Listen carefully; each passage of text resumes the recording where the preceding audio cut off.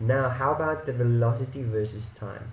Well, of course I can do velocity versus time because all I need is velocity and time. And that I have. I have initial velocity for the first bounce. Let's write the time on here. It will make it easier to, to draw. So the first time we saw was 2.2 seconds. So this is 2 comma 2 seconds.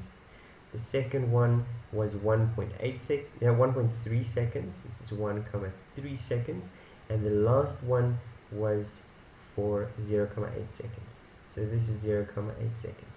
So to draw the first one, for 2.2 seconds, I must go from 11 meters per second to negative 11.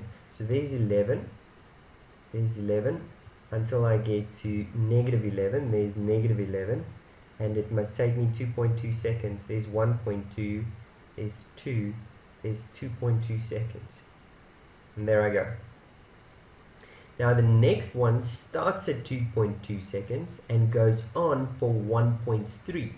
So the next one will start at 2.2 and then go on for another 1.3 seconds, which means it will end at 3 comma 5 seconds. So I must start at 6.6 meters per second. Okay, 6.6 meters per second is positive because it's now bouncing upwards. Okay, and 6.6 is, that would be 7, so 6.6 is more or less in the half.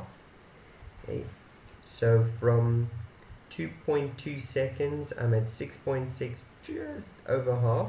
That's good. Okay, until I get to negative 6.6, which would be about here, and that must be at three and a half seconds. There we go. That's three and a half because that's 3.2, 3.4, three and a half. That would be there. Okay, now I must go from three and a half seconds another 0.8 seconds. Now we know the total journey was 4 comma 3 seconds and that's because this last journey was 0 comma 8 seconds long. So from 3.5 seconds to 4.3 seconds I must go from 4 meters per second to negative 4 meters per second. So I'm at 3.5 and 4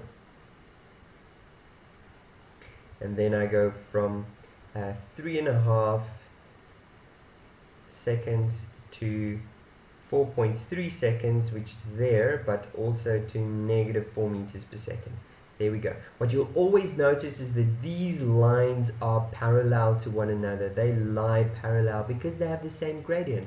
The gradient is negative 10 negative 10 negative 10 that is the uh, acceleration